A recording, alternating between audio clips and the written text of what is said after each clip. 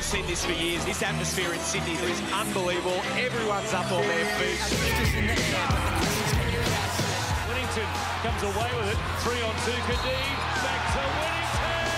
Wow! Basket will count. Great work. There are some players who just have a unique ability to step on the court and make things happen immediately. Powell is out there now. Lisch bounce back to Powell from inside three-point range. Powell. Little spin move.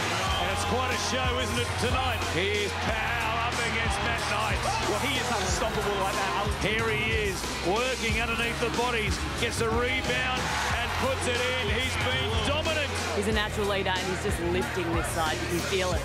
You reckon he might have a little something, something going on here, a little bit more than... Come on, mate. Might need to work on those guns a little bit here. Sydney Kings have been dragged from the floor last season to the top of the tree, thanks in no small part to power forward and two-time NBA champion Josh Powell. Hello and welcome to the show. Welcome. Uh, we- we're obviously going to get into your uh, amazing career, but you've been here for a little while now. Have you got your head around cricket? I, I need to, to get my head around cricket. Obviously, I need to I need to learn that game. I need to to watch it and study it. But I definitely that's one of the things I would like to uh, be a part of while I'm here. Really? Well, we can help you out in that regard, obviously. Uh, we saw Andrew Gaze there. Is he the most enthusiastic coach you've worked with? Definitely one of, but he he's definitely a character, but a competitor first, and uh, I think that's a lot of lot of what everyone sees. And he has a a good time on the floor, and he definitely gets us going. And and you know he's all over the place, but he's great for us, and uh, you know our personalities and and a, a great player coach. So he's been amazing to play under. Tony mentioned the fact that you've had an amazing career, two championships with the LA Lakers. For um, people that are watching that weren't aware, six or seven years ago, it was an amazing roster. You had Kobe Bryant, Lamar Odom was playing, Metta World Peace, I think you played with for a season. He was Ron. I think he was Ron at the time. He was Ron, was he? Yeah, I think- but the one, the the, one character or, or the one personality I wanted to ask you about was the coach, Phil Jackson. Mm-hmm. Tell us a Phil story. What, what was Phil like as a coach? Uh, the Zen Master, of course. Um, so my, my first year, um, I remember uh, we, we had a little stretch where we were winning games, um, but they were kind of ugly wins. And uh, came in one morning and you, you smell something. It's like a burning smell, and you're like wondering what's going on. And you know, Phil's just slowly walking around the entire practice facility with sage, and he's like, "Got to get rid of the evil spirits." And I'm like, Hadn't had a curry or Right, I'm like, really? That's, that's kind of crazy. So he, you know, he went from doing the sage. So we had a film session, and we get into the film session. This was my first time meditating, so I didn't know what was going on. He comes in there, and he's got his sexy voice going, and he's talking to us, and he cuts the lights down, and he's like, "Close your eyes." Imagine that you're somewhere, and I was just like, "Oh, this is crazy." So that's one of my good Phil stories. Phil, he, he, not only is he a great coach and obviously what he does there, but he's also good at making it look like he hasn't been snubbed by Kobe, as you see in this vision here, which is terrific. Uh, going down the line, everybody getting a bit of a fist bump. I didn't get Not just one side, I go the other as well. It's always meant to happen. Josh, what we, you know, you have to work so hard to get to the NBA, and we see so many films set about, you know, kids trying.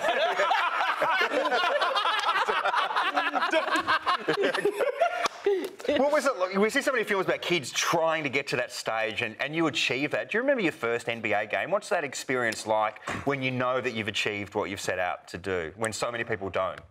I mean, for me, honestly, uh, just coming from where I'm from, and um, I had a long road. I mean, I went uh, undrafted, and uh, I, I, I've been cut and had to get back in, and uh, you know, it just it just makes you that much more appreciative for you know the opportunity and and, and you know the hard work and the fight and, and everything that comes with it. And you know, no matter if it was my first year up to my seventh or eighth year, I, I was grateful for, for every time I got a chance to step on the floor and do something I love to do. Josh, that theme's interesting because, like, you've been open about at times when you could barely afford food and even sleeping in your car. What was the toughest point you reached? Is there any month or day where you thought, "Oh, this is is rock bottom"?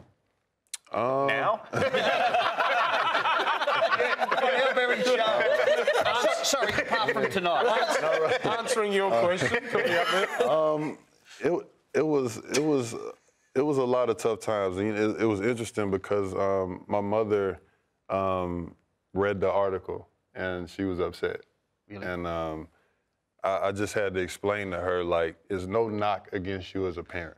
You know what I mean? You you did the best that you could do for us, and I'm grateful for that. But me telling my story was not to talk about the struggles. It was more to motivate or inspire somebody else that could be going through the same thing. Mm. You know, because we all come from different backgrounds, we all come from different walks, and the whole reason why I wanted to really share my story was because you never know somebody else that could be going through something and they could be at a point where they want to stop or quit or something. But it's you got to keep fighting. You got to keep going. You know. Enjoyment is a big one for you as well, and you know at this stage of your career coming here to Australia, but you seem to really at the Sydney Kings, you're loving it already. You're taking videos with the boys, singing, you know, in the change rooms, and we saw that at the start of the show. You went to a driving range and couldn't hit the ball with a golf club, so you just picked it up and threw it. This is the. I love this celebration. But you seem to be really enjoying yourself here, Josh. A great grum- d- bunch of boys and really, really enjoying your time. Yeah, I mean, uh, this is my 14th year playing, and um, you know, it's, it's not often that you're able to have an entire group of good guys, um, a coaching staff that's amazing, and you know, that everybody's on the same page as you can see. But I, it's funny because the first, the first, the first time uh, when we got our first win in, uh, against the Hawks. And that song, I was like in shock. Like I didn't really say nothing. I was just smiling the whole time because I was like, "What is going on here?" And then the, when we got the second win, I was like, I just got to capture this moment because so many different personalities, and a lot of times, you know, the the supporters, the fans, the city, or whomever may not get to see a certain side of certain guys. So for me, that's why I wanted to show it. What did you know of the Sydney Kings and, and Andrew Gaze before coming over? Was it Andrew that gave you a call? I knew about, uh, you know, the the city of Sydney. Um, I knew about, you know, how it is as, as a country here, and um, just all the great things that I've heard. I mean, I didn't really know too much about the basketball side of it, um, but this this is a, a talented league. Don't don't get it twisted. I understand that, you know, it may not be as popular, but it is it is a great league with a lot of talent, and um, you know, I'm I'm happy to be a part of, of the NBL and, and the Sydney Kings, and for the opportunity. And how far can the Kings go? They, as we said, they get, climbed from the floor from last season, sitting there at the top. Uh, how confident are you as a unit? I, I think you know the the goal is to to to win a championship, and um, you know I, I I think that if we didn't aim for the best, then we shouldn't be doing what we're doing. At the end of the day. The mannequin challenge. I don't know if we just got quickly, you might be able to show that. I don't know if you were part of it, but certainly the crowd got into it. This is brilliant. This is before a Kings game. So y'all, y'all miss, y'all, hold on, y'all. Now that's that is great. Isn't Don't get that me good? wrong. But you know, we did a mannequin challenge. Did you? Yeah, we did one that that I posted. That we went to a promo and did that one first. Yeah. Then we followed up With the to crowd. show hmm. Everybody in Sydney come and come out and do that. that was amazing, by the way. Though. We're going to get that out and play that we uh, should a bit later on. because those kids did an amazing job. And what we- you're doing an amazing job, as are the Kings. Get along and see them. I think next home game's against the 36ers. Uh, Monday it's at uh, Qudos Bank Arena, 7 p.m. That's the home game. Josh Powell, what an honour and a privilege to talk to you. Thanks so much for dropping in. Thank you, Thanks, guys. I Josh. appreciate There it. we go. There we go.